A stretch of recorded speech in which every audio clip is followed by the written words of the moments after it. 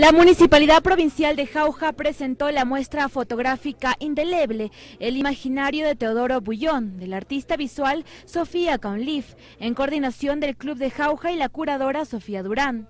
La muestra alberga fotografías de fines del siglo XIX e inicios del siglo XX, fotografías originales, ampliaciones y negativos de vidrio.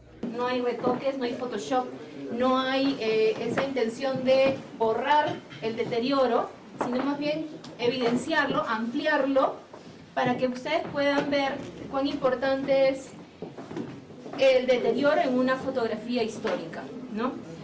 Una colección perteneciente a Jorge Bustamante y que Sonia recuperó en un proyecto fotográfico que revela muchos aspectos de la sociedad jaujina en la época de 1900. La muestra, más allá de su valor documental para la historia de la Sierra Jaujina, es también un vehículo de formas y presencias estéticas, pues se suma a las más imágenes impresas, el muro de los fantasmas, una instalación que simula ser una pared de una casa andina con una ventana que está hecha de negativos de vidrio va envejeciendo, tiene heridas, tiene eh, el maltrato del clima, ¿no? Entonces eso nos habla mucho de cómo nosotros debemos cuidar nuestro patrimonio. La muestra llega a Jauja después de haber permanecido hasta el 10 de septiembre en la Galería de Arte Pancho Fierro en la ciudad de Lima, en la que tuvo una gran acogida por el público. Se espera que en Jauja sea de la misma manera.